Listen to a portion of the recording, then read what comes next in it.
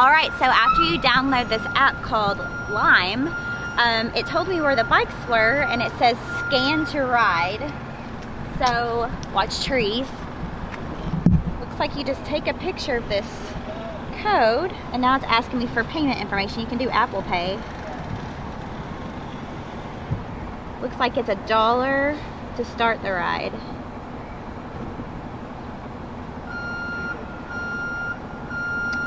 Kickstart to get up to speed, okay? And then it's telling us to ride with a helmet if you can, park with care, don't forget to lock up. You end your trip by pressing the lock button on your app. That's important. All right, well it looks like we're ready to go. Go. All right, now it's activated and this kind of made a little song and it's showing that we're ready to go. And I guess the, learn how to ride a scooter again. Press, go. Don't do it yet, it's not going. How do you,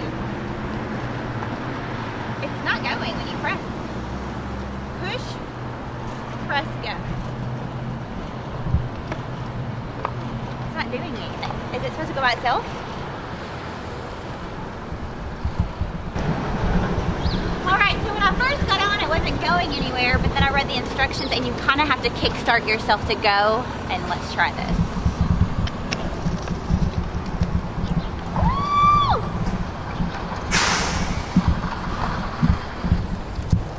Cars. it goes pretty quickly. You don't wear high heels like this. Goes about 15 miles an hour. It's pretty quick and you have a brake just like on a scooter.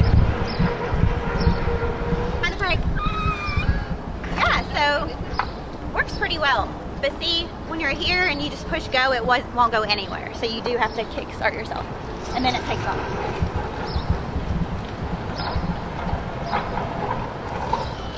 So it seems pretty simple to ride. Just get the app beforehand. Make sure you load in your credit card information beforehand. And um, make sure you're wearing a helmet if possible and appropriate shoes. So I'm just gonna go ahead and park mine where I got it, but you can leave it anywhere around town. I think the most important thing is just to make sure when you're finished that you go back to your app and click that you're finished. Um, lock. End your ride. Yes. Um, take a photo of where you parked your lime to help the next rider find it. So, guess we'll do that.